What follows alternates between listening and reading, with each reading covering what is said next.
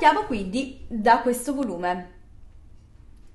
Museo d'arte urbana aumentata Torino.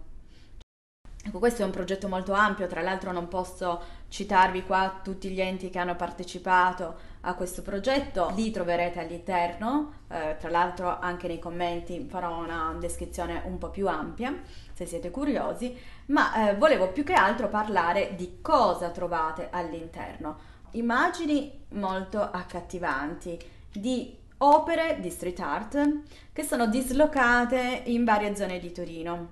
Quindi non soltanto il Museo di Arte Urbana, come lo intendiamo a Torino, quindi quello situato in Borgo, in, um, Borgo Campidoglio, ma anche tutte le altre opere che possiamo trovare nelle periferie. Questo libro ci conduce attraverso una magnifica mappa che mettono a disposizione in diverse zone e la cosa più interessante che io ho trovato in associazione a questa pubblicazione cartacea e l'app, l'app che viene chiamata Be Part. Be Part è un po' come l'idea appunto di, di essere parte, no? Allora andiamo a vedere come funziona.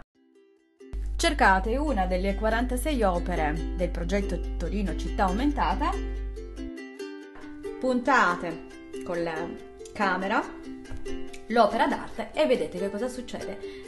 Questa stessa operazione, oltre che sul libro, può essere effettuata direttamente davanti al murale stesso se cercate qualche meta per una passeggiata in solitaria in zona rossa, forse questo volume mi può offrire qualche suggerimento su dove andare.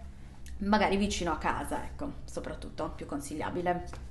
Adesso concludo con l'invito che porgono gli stessi autori del volume a tutti voi, ovvero quello di prendere questo biglietto per innamorarvi per la prima volta o per l'ennesima volta di Torino. Quindi accogliamo questo invito e scopriamo nuovi angoli della città. A presto!